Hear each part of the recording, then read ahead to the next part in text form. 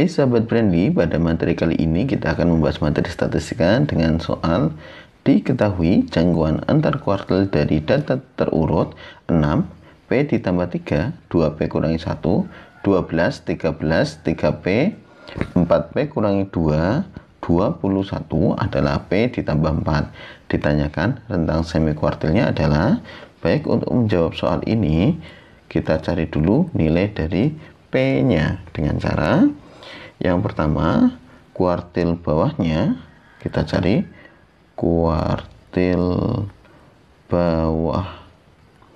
Berdasarkan data di atas, kuartil bawahnya adalah setengah kali P ditambah 3 ditambah 2P kurangi 1. Hasilnya adalah 3 per 2P kurangi 1.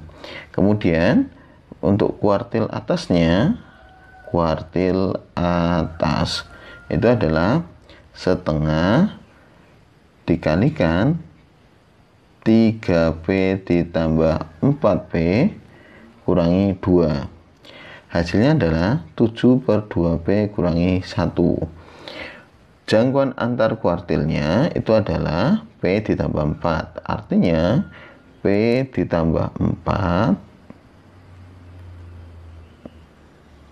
sama dengan 7 per 2P kurangi 1 dikurangi 3 per 2P ditambah 1 kemudian dihasilkan nilainya adalah 2P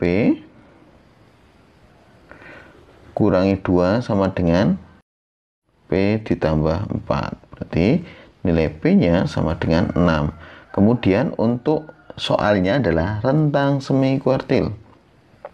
Untuk rentang semi kuartilnya